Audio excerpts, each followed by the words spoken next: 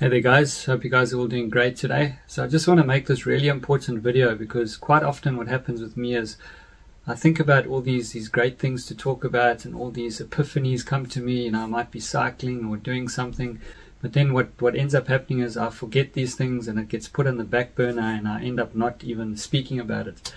So I've I've written this down, my message here, and I want to give it to you guys. I'm going to read it out, right? Because this applies to people who have taken my program and also actually anyone, any trader who's watching this video. This is a major problem that I see. Okay, and I just want to talk about this quickly. So the the importance of your account size. So most of you guys, a lot of you are failing at this game because your account is just too small what ends up happening is you make small profits which leave you unsatisfied. So you go back in the markets you do stupid things you overtrade you try and make more profit you end up unsatisfied with the small profits that you make and then you blow your account or you do something stupid. You then blame the strategy or your system and this becomes an endless hamster wheel.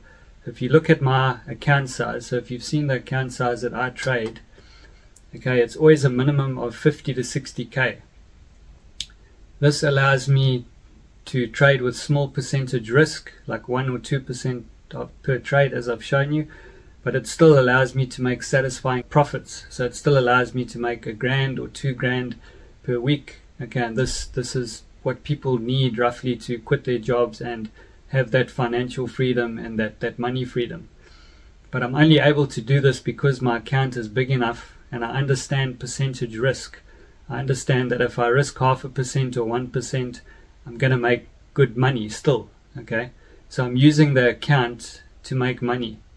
I'm not necessarily looking to grow the account. I do put profits back into it, but remember, guys, it takes money to make money. You're never going to make money in this game if you're trading with a hundred dollar account or, or a five thousand dollar account or even a twenty thousand dollar account.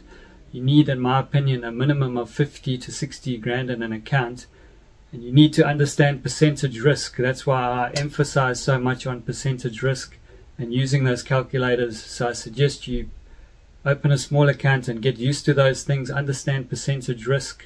If you can take $500 to to 550 in a month, why can't you take a $50,000 account to 55,000?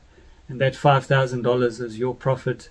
You don't have to work. You can just live off those profits take one or two as you can as you guys have seen I only take one or two trades per week.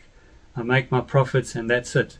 That allows me to have the the money freedom and it also allows me to have the time freedom. Okay so what I'm saying here is stop looking at your strategy because it's not your strategy. A lot of you who have taken my program still blame strategy still blame systems. It's not the system start understanding that this is a numbers game. Strategy is only a small part of it. Okay, you can trade a moving average crossover strategy and make good profits each week or each month if you understand how important account size is and percentage risk.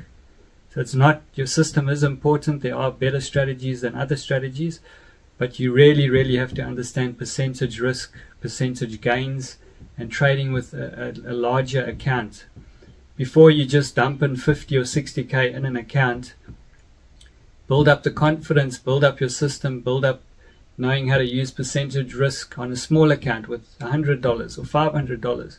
Then all you need to do is once you've built up enough capital to trade a bigger account, then you put it in and you you already understand how all these percentages work.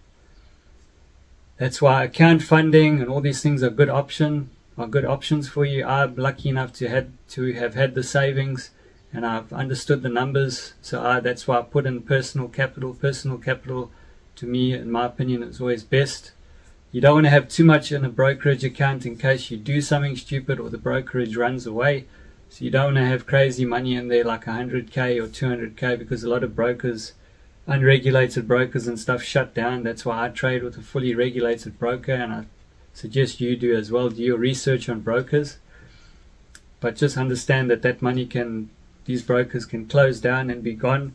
That's why I only personally and uh, are comfortable trading with 50 to 100 dollar to 100,000 in an account. It's normally 50 or 60k that I trade with. So I really hope this video helped guys. I hope it allowed you to think more and understand about the numbers and how this game actually works and gives you another outlook on, on how trading works and propels you in the next uh, direction to success by understanding this simple concept. Catch you in the next one guys. If you're interested in me helping you trade, uh, click on the links down below and I'll gladly assist you. You can learn what I, I know, my exact systems and how I trade, how I think we can go back and forth and I will help you as well on Telegram. Catch you in the next one, guys. Peace.